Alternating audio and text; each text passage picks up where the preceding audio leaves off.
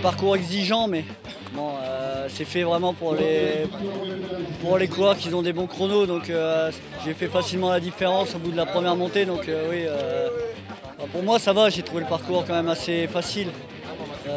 bon, mais suis pas, j'ai quand même une belle marche sur mon record personnel aux 10 000. Donc finalement ça a été, puis il a plu avant le départ, ça m'a vraiment beaucoup aidé quand même. On a envie d'y revenir, c'est sûr. On a envie d'y passer plus de temps. Déjà le climat, euh, l'eau qui est chaude euh, à la plage, euh, c'est vrai que ça donne, ça donne envie de venir en vacances en Guadeloupe, ça c'est sûr. Ça a beaucoup de charme.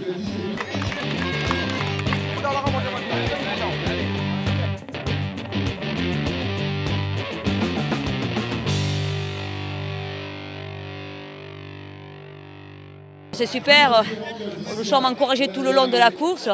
Moi j'ai couru avec un petit groupe d'hommes et c'était sympa, on, s'aidait les uns des autres, on prenait des relais. Euh, lors, des ravitaillements, on, essayait de se le passer, tout ça. Non, non, une bonne entente entre les coureurs. Sincèrement, c'est une belle manifestation, je suis très content.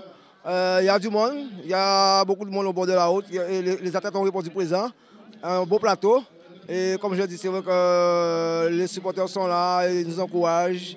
Il, a eu un peu de pluie, mais ce n'était pas grave, c'était bon. Donc sincèrement, c'était une belle fête et je dis encore bravo, je dis à l'année prochaine. Hein.